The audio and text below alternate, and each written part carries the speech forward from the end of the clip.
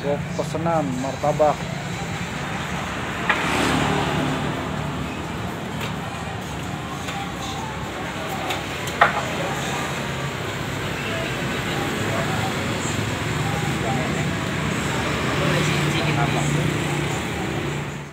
Benar juga ya, semua ruko yang ada di sepanjang jalan tutup patuhi aturan PPKM.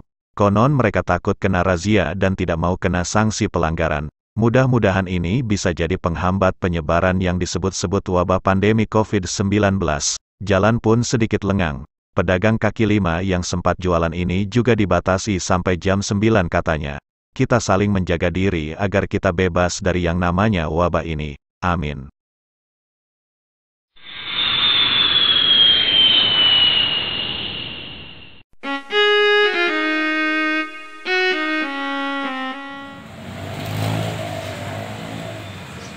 Konon ada yang bilang di saat ini kita tidak boleh bersentuhan sementara.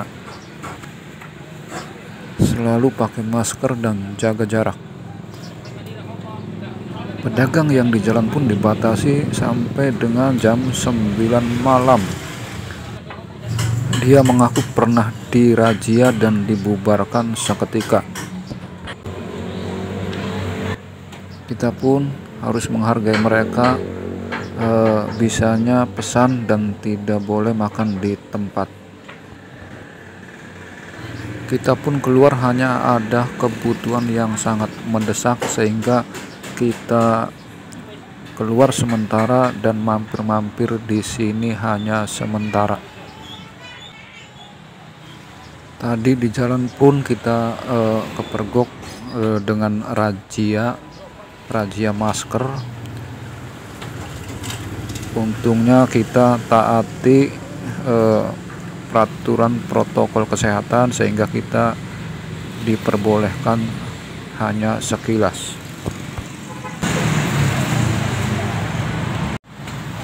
Inilah kegiatan para pedagang yang standby di depan jalan eh, yang mempercepat eh, menyelesaikan pesanan pembeli agar terhindar dari razia dan selesai sampai jam 9 malam.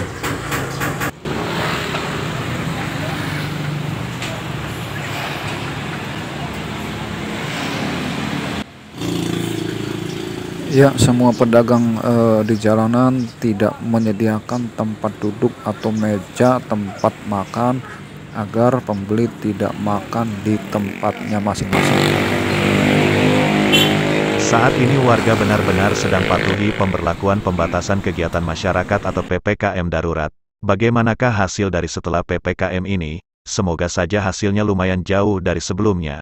Semoga saja wabah cepat sirna dari bumi tercinta ini. Amin ya robbal alamin. Pemerintah harus cepat atasi dampak perekonomian masyarakat selanjutnya tentunya. Perekonomian warga agar mendapat perhatian dari pemerintah yang selama ini diberi batasan kegiatan untuk beraktivitas. Semoga saja semuanya bisa teratasi dan warga bisa beraktivitas kembali bebas dari wabah ini. Kita semua harus memahami dan saling menjaga agar kita semua terhindar dari apa yang kita tidak inginkan dan juga agar nanti PPKM tidak diperpanjang lagi.